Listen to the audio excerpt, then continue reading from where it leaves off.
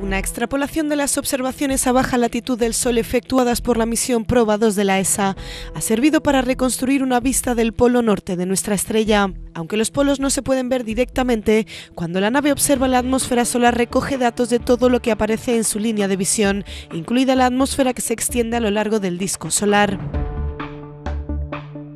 A partir de estos datos, los científicos pueden inferir la apariencia de las regiones polares.